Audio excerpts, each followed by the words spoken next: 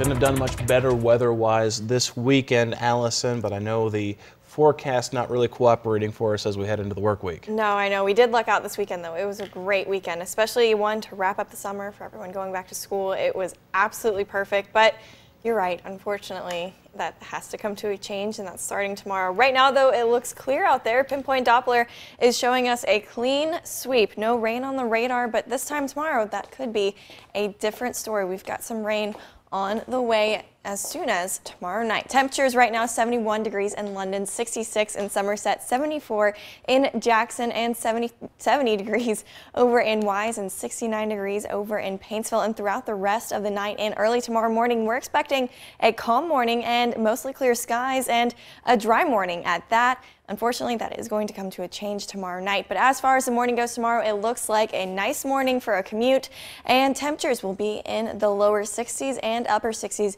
by around 9 o'clock. And I'm really actually not expecting anything in the way of fog either, so that's some good news there.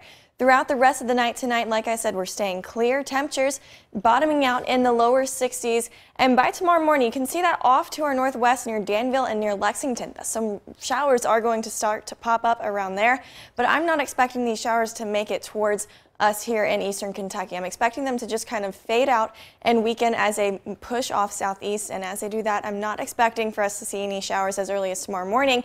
But the cloud cover will be around tomorrow. And then by tomorrow night, around 545, that is when the showers are going to start to pick up and storms as well. So some of these storms actually could be on the strong side and we could see some strong winds here and there, especially north of the I-64 corridor. But for the most part, we are going to be dealing with some scattered thunderstorms throughout the evening tomorrow. So if you have a morning commute going on tomorrow, be sure to throw the umbrella in your car in the morning so you're not caught in the rain when you're heading out the door for your evening commute. Tomorrow morning, or Tuesday morning, actually, we're looking at some cloudy skies and rain chances start to return Tuesday afternoon as well. You can see that we do have a possibility of some rain Tuesday afternoon into Tuesday evening.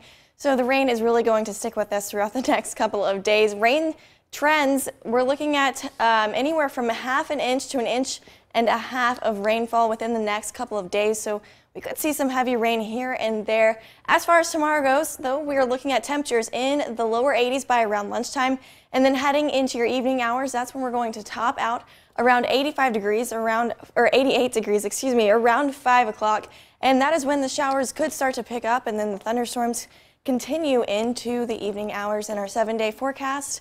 Well, we've got rain on the way throughout the rest of the week and even continuing into the weekend as well. Temperatures are on the rise by midweek though, so it's going to be a hot and humid start to our week. I have to try to remember to get the uh, lawn mowed before the rain gets here tomorrow. Yes, you definitely want to go ahead and do that. All right, Allison, thanks a lot. Straight ahead, uh, Malaysian officials are asking for help finding the debris from the missing flight MH370. We'll have more on that story coming up.